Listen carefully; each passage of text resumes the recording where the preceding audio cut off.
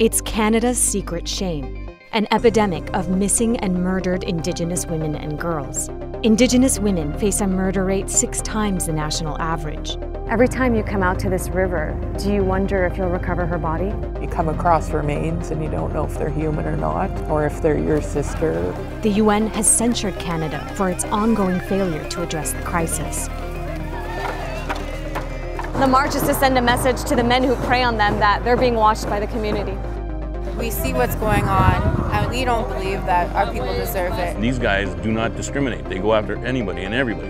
Now, Prime Minister Justin Trudeau's government is taking action. Those touched by this national tragedy have waited long enough. But after years of failure on the part of the police and the government, Many here question if it could possibly go far enough to bring justice for the families and keep women safe. It flashed through my mind that it could be a body that we were trying to pull up.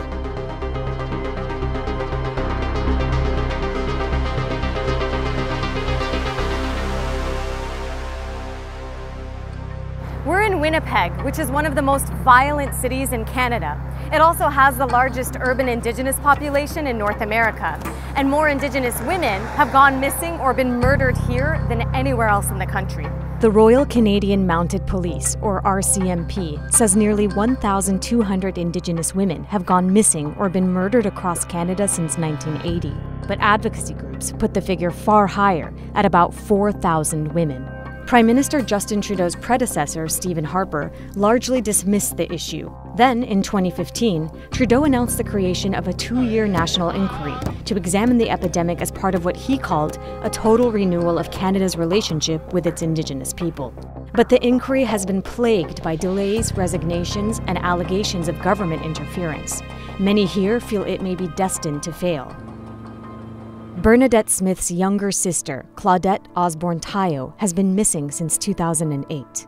Bernadette started Drag the Red in 2014 to support other families looking for answers after the bodies of several women were found in the Red River. The group uses homemade dragging bars with built in hooks to search the bottom of the river. They hand over what they find to police and a team of forensic anthropologists. Every time we go out, we offer tobacco to give thanks for, you know, being able to be out here and do this work, but also to offer prayers to, you know, the families that are missing someone that don't have answers or who have been murdered and nobody's been brought to justice. Why this spot in particular? So this is the Alexander Dock. So there was two uh, young girls that were found here. In August 2014, the body of a 15 year old Indigenous girl named Tina Fontaine was found in this river wrapped in plastic. Tina's death was a turning point that opened up a lot of people's eyes to this epidemic and sent shockwaves across the country. For many, it highlighted the failures of the system. In the hours before her death, she encountered the police, hospital staff, and child welfare workers. Tell me about your sister and how she went missing. I know she was only 21 at the time, 10 years ago. She'd been sexually abused when she was 12 and started running away from home. And she ended up with a much older man and was exploited and was pushed onto the streets. Claudette wasn't someone who didn't stay in contact with someone daily. Nobody had heard from her in two days. So my sister Tina went and she filed a missing persons report and the police basically said, you know, oh, she's out there somewhere, just give it a few days. We kept going back to the police station and saying, like, you know, something's wrong. They didn't take us seriously. They didn't investigate her case for 10 days. Well, yeah, so there's a prime example. That's what they pulled up. So there's no blood on it, but Yeah. we pull up clothing all the time. We've pulled up lots of underwear, women's underwear, and people weight bodies down with cement, right? When they found Tina Fontaine's body, she, was, weighted down. Yeah. Here we go. No. Here. Oh wow, that's a strong tug. That's a something, something, yeah, something definitely got caught on here. Oh, Yep. Hang on. yeah.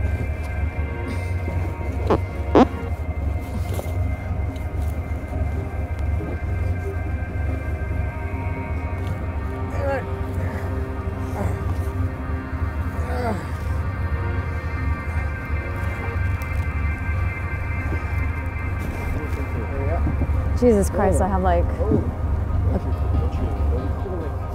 So that's a boot.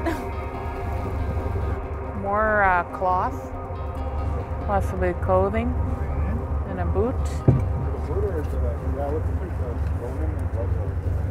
It looks like there's a what? Remains inside. You want me to check for a foot?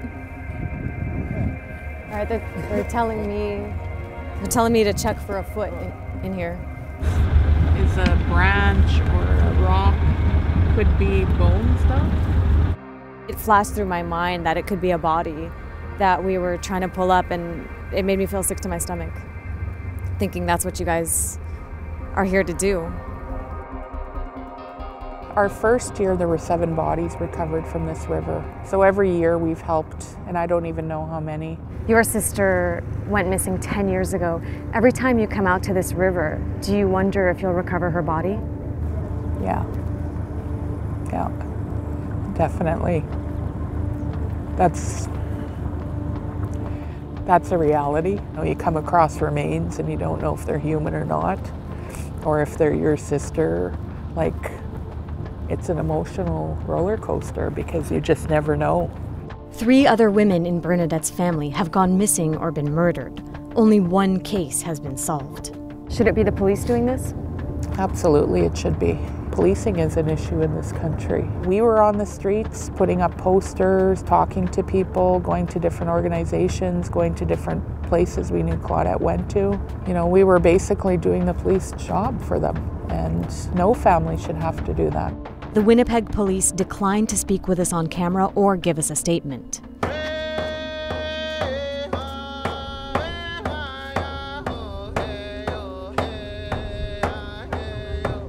Meet Me at the Bell Tower is an anti-violence movement, and we exist to build community.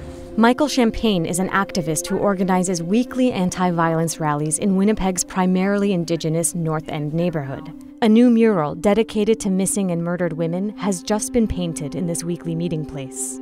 It's nice that we have these beautiful images in our community, but it's frustrating that they have to be memorial images. I wanted to know why it was necessary to hold weekly anti violence rallies here. There was a time when, in a year, we had over 52 vigils, funerals, hospital room visits, and our, the same group of people got together, but always centered around the negative things. We need to host weekly anti-violence hears to send a message, not only to the community, but to the people that prey on our community. And our message is that we are united. Michael grew up in the child welfare system here and says that one out of six children in this neighborhood are currently in the care of the system. 7% of children across Canada are Indigenous, but they make up nearly half of all foster children in the country. The government cites poverty or lack of adequate food or housing as reasons for separating them from their birth families. What connections do you see between the child welfare system and the epidemic of missing and murdered Indigenous women? In the child welfare system, often what ends up happening is a devaluing of Indigenous life, especially for Indigenous women and girls. As they age out of care, they turn 18, uh, unequipped with life skills, severed from their biological families or their home communities. They're at risk of homelessness, harmful substance use, sexual exploitation. Part of the reason why we have such difficulties in child welfare today is that many of those children right now are actually children like me of Indian residential school survivors. From the 1840s to the mid 1990s, some 150,000 Indigenous children were removed from their families and sent to church and government run Indian residential schools. Their aim was to kill the Indian in the child by assimilating them into dominant Canadian culture. Many children suffered emotional, physical, and sexual abuse while attending these schools. As we know now, Indian residential schools was a failed experiment that did uh, a lot more harm than it did good and unfortunately that that history of family separation over so many generations continues to this day with child welfare.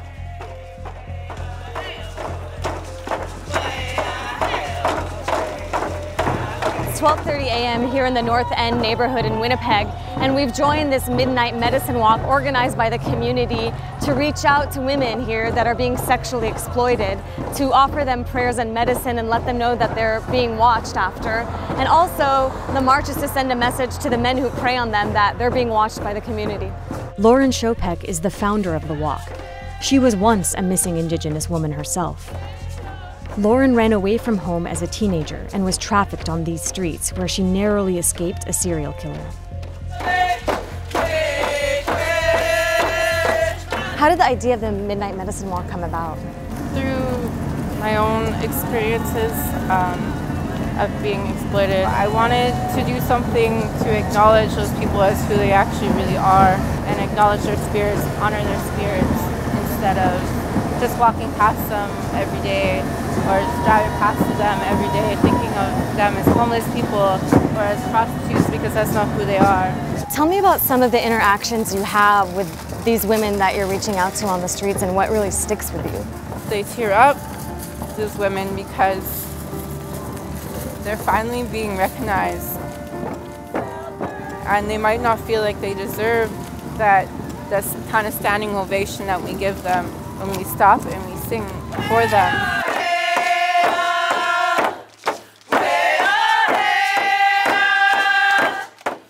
Or we offer them a smudge. They feel like they don't deserve it, but they do. And they're finally being paid attention to. Is this process really healing for you? It is. It is really healing for me. Out of all those negative experiences I had as a young girl being sexually exploited, now people recognize me and they respect me for those things, I guess, but like in a different way because now I'm I turned it into something beautiful, I guess. You have to go. You really can't keep littering. It's not safe. As we turned the corner onto the main boulevard, we were told that no one takes this road at night unless they're looking for sex.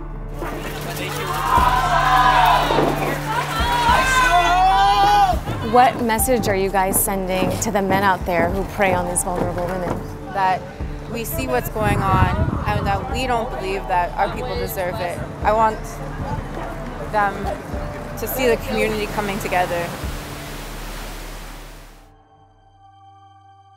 Because the police's response has been insufficient, Indigenous activists have been stepping up in various ways to ensure the safety of their community members and streets. Okay, so two groups of seven. Yep. We've got 14, right? James Favel is the executive director of the Bear Clan Patrol, a community safety patrol that operates in some of Winnipeg's toughest neighborhoods five to six nights a week. When we talk about the epidemic of missing and murdered Indigenous women and, and girls here in this country, do you see your work as trying to put an end to that in a small Well, that's way? exactly why we started. In the wake of what happened with Tina Fontaine, I just wasn't prepared to sit around and watch anymore. I had to do something so that I could at least sleep at night and, and my conscience be clear. And so uh, we started out with 12 volunteers in, in 2014, and now we have 1,200. How does that make you feel? Pretty good. Tell me a little bit more about the sexual exploitation you see on these streets. Well, I mean, it's yeah, the prostitution here. The, the it's it was pervasive for a very long time, and there was no uh, nobody doing anything about it. It was like it was permitted in this area, you know, and for for us and here in this community, that's not a, that's not suitable, right? We have uh, we have the the, the the exploited women, you know, standing up against buddy's fence, you know, and the kids are playing in the yard, and we've got Johns coming. And these guys do not discriminate. They go after anybody and everybody. They don't care if you're 10 years old or if you're 40 years old. Why hasn't the state or the city done more to crack down on these Johns? The political will's not there. Canada's national inquiry into missing and murdered Indigenous women and girls is expected to conclude in April of 2019.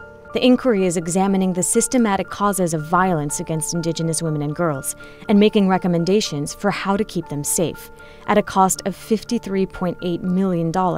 During our time in Winnipeg, we heard from those who feel the inquiry may not be up to the task. Our family um, didn't participate in the national inquiry. We called for a national action plan. You know, women are still going missing, they're still being murdered, and uh, there's no really uh, resources or prevention put in place to stop that from happening. I feel like this inquiry needs to be led by experiential family members that actually know what it's like to lose a loved one so that we have an appropriate amount of urgency um, behind the work that we're doing. Tasha Spillett is an academic and educator who's been following the inquiry. I don't see that there'll be any outcome in it unless there's real legal teeth from that. Um, from that inquiry, we're going to have to have another inquiry in 50 years, another one in 100 years, another one in 150 years. If we don't understand that at the bottom of this is a really harmful power dynamic in which Indigenous women and girls are situated um, at the bottom. We wanted to take these concerns to Prime Minister Justin Trudeau, but his office declined our request for an interview. Instead, they directed us to Carolyn Bennett, the Minister of Crown Indigenous Relations. For months, we reached out to her office for an interview and eventually received a statement that stresses the government's commitment to, in their words, end this national tragedy and lists the initiatives it's taking to support affected communities and prevent future violence.